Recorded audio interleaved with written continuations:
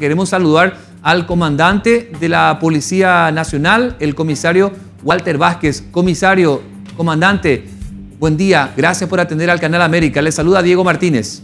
Sí, buen día Diego para vos y tu compañero de trabajo ahí. Estamos a la orden. Comandante, el presidente de la República había felicitado eh, tras este operativo en Amambay el trabajo de la Policía Nacional, que muchas veces también recibe críticas, pero ayer, en el caso del presidente, la felicitación por el operativo.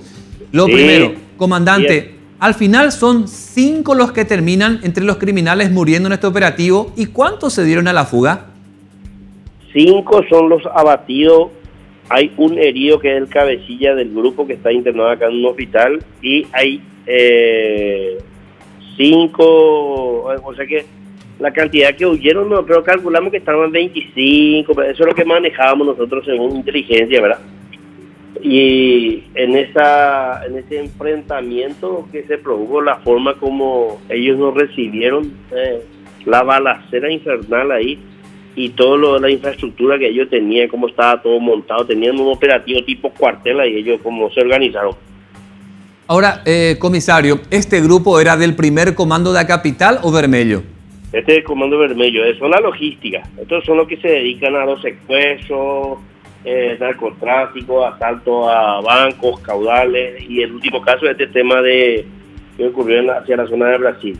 Todos ellos son paraguayos eh, que trabajan para, una forma de decir, trabajan para el Comando Vermelho o son brasileños? Una mezcla de brasileños y paraguayos. Con los brasileños, ¿qué se va a hacer, comisario? De los, ¿Cuántos detenidos dijo que hay? Hay, por el momento, lo que están identificados de de este grupo eh, son eh, dos de los fallecidos, ¿verdad? ¿Y los detenidos? falta. Los heridos ya están. El herido está este Roberto Núñez, que es el, el, supuesto propietario de esa estancia, que sería el cabecilla, que es el hermano de este asistente fiscal y que cuyo hermano se le había eh, asesinado en Capitán Bado. Ahora, pero entre los detenidos hay brasileños. Hay brasileños. ¿Qué se va a hacer con ellos? ¿Se los expulsa o se los procesa acá en Paraguay? vamos a ver, vamos a ver que, si hay requerimiento por ellos, qué que, causa tienen también en el Brasil y bueno, a partir de ahí vamos a hacer todo. El, la investigación, estamos, estamos con el, viendo toda la situación, ¿verdad? Anoche nomás terminamos, anoche llegamos tipo las 10 de la noche ya y bueno, estamos ultimando, viendo la situación, tratar de identificar a personas que todavía no pudimos identificar y después entonces ver qué se va a hacer con esta persona. Eh, comisario. a través de la evidencia, todos esos indicios que encontramos, los aparatos celulares, ahí vamos a ver perfectamente a qué se dedicaban, cuál era, qué, cuál era el objetivo que tenían previsto, porque el arsenal de armas, en los vehículos blindados que tenían, entonces eso va a orientar muchísimo más la investigación. Comandante, y con la policía que está en Amambay, Capitán Bado, ¿habrá mm, alguna movilización, cambios en la directiva o usted los va a mantener?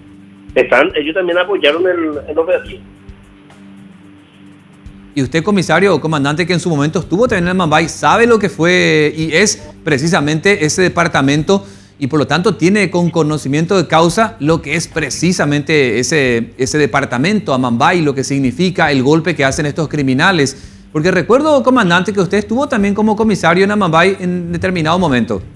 Un año estuve trabajando con Pedro Juan Caballero y con resultados altamente positivos. Sí, recuerdo, eh, antes de llegar a la comandancia, recuerdo que estuvo justamente como principal comisario en Amabay, por lo tanto conoce perfectamente lo que es enfrentarse a estas bandas criminales.